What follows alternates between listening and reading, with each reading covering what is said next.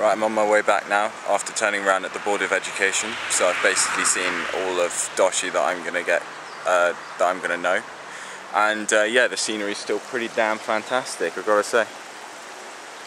But obviously, the mountains there still, and the rice fields.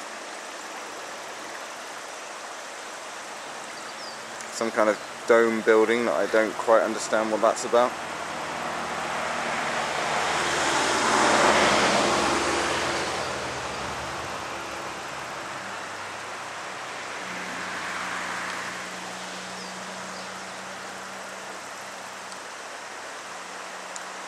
Yeah.